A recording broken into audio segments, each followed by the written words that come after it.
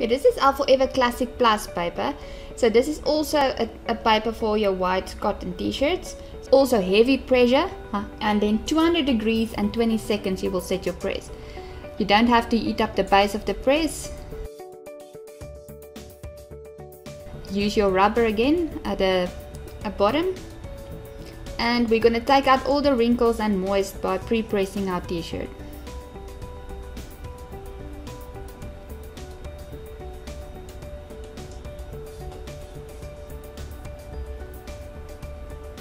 Okay, we're to cut our picture as close as possible again to the edges.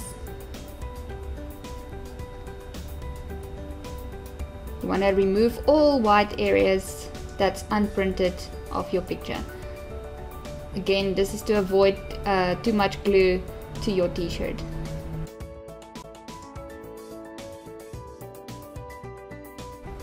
Okay, then you will put it face down. And then press it for heavy pressure, 20 seconds, 200 degrees.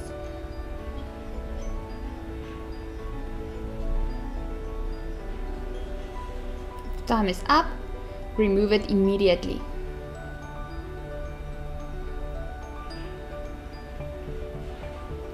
You have to work very quickly before it gets cold.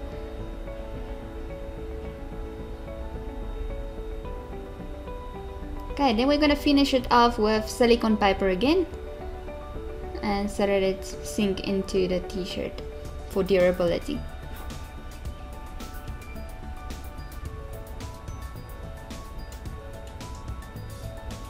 Okay, remove the silicone paper and it's done.